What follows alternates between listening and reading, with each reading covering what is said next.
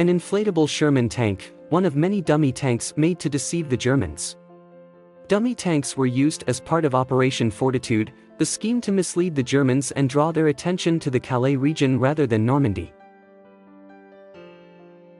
A young girl from Brighton plays a game of chess with Fifi the chimpanzee at London Zoo, circa 1955. Scene taken from the French movie Dandy Pacha, depicting an opium den that was popular in France during that era.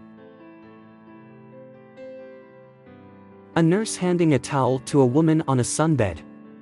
Circa 1934. Australian troops approaching a German-held strong point, under the protection of a heavy smoke screen, taken somewhere during the North African campaign on November 27, 1942.